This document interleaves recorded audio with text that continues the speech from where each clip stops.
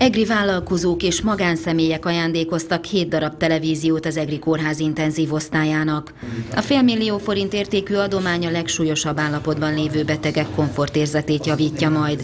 A kezdeményezést dr. Gyetvai Róbert főorvos indította el, aki korábban az Egyesült Királyságban tapasztalta meg a televíziók terápiás jelentőségét segítenek a bezárt, eh, gyakran 24 órán keresztül egy eh, szűk helyre bezárt betegeknek abban, hogy eh, hogy az elveszített téridő érzéküket visszanyerjék, adnak egyfajta lökést, hogy hogy az életre nem lemondóan szemléljenek, hanem megtaláljanak célokat, lássák, hogy, hogy a világ működik, és, és ez úgy láttam, hogy nagyon sok erőt tud adni.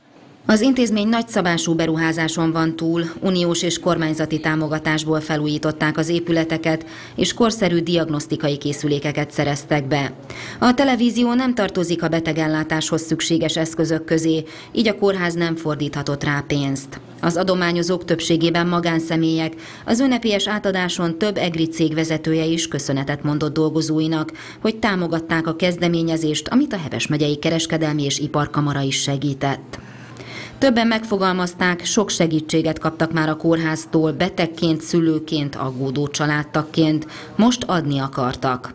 Most ennek a kórháznak újra építkezni kell. Ebbe az újraépítkezésbe gondoltuk mi magunk is, hogy részt kell vállalni, mert hiszen a kórház nem önmagát gyógyítja, hanem értünk van. És hogyha a lakosság és a kórházi dolgozók szoros össz, együttműködésével, összefogásával fognak dolgozni, alkotni, akkor egészen biztos vagyok benne, hogy a régi dicsőség fényében fog tündökölni. Az intenzív osztályon egy köszönőtáblát helyez el az intézmény vezetősége. Az osztály 12 ágyjal működik, évente több mint 400 beteget látnak el.